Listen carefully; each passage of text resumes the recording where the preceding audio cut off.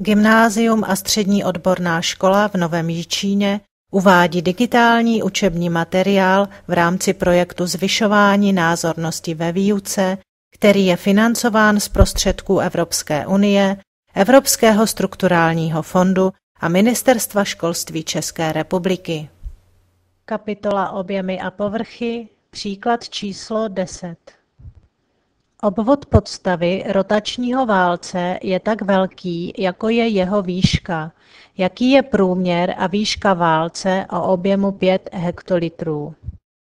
Zvýrazníme si v zadání důležité údaje, a to je obvod podstavy je stejný jako výška válce, hledáme průměr a výšku válce a známe objem válce, ten je 5 hektolitrů.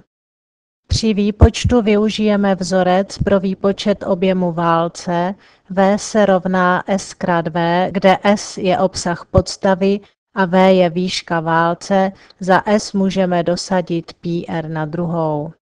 A dále využijeme vzorec pro výpočet obvodu kruhu O se rovná 2π krát R.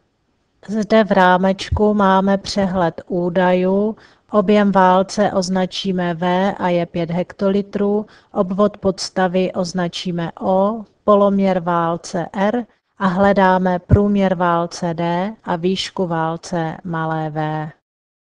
Nejdříve si převedeme jednotky, tedy 5 hektolitrů je 500 litrů, to je 500 decimetrů krychlových.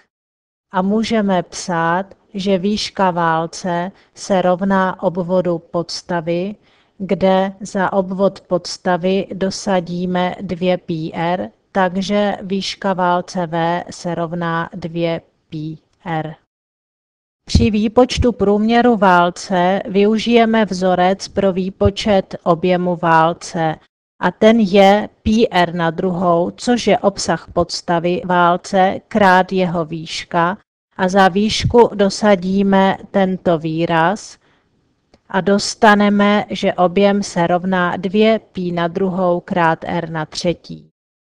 A objem se ze zadání rovná 500 decimetrů krychlových a odtud dostaneme, že r na třetí se rovná 25,330 tisícín a odtud r se rovná 2,937 tisícin decimetrů, což je 29,37 cm.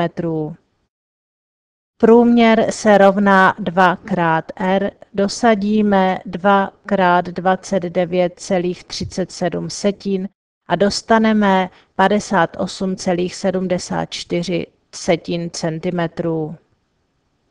A dostáváme se opět k výšce válce, ta je rovná obvodu podstavy, takže V se rovná 2 π krát R. Dosadíme za R předcházející výsledek a dostaneme 2 krát π krát 29,37 setin a odtud V se rovná 184,54 setin centimetrů. Průměr válce je 58,74 setin centimetrů a výška válce je 184,54 cm.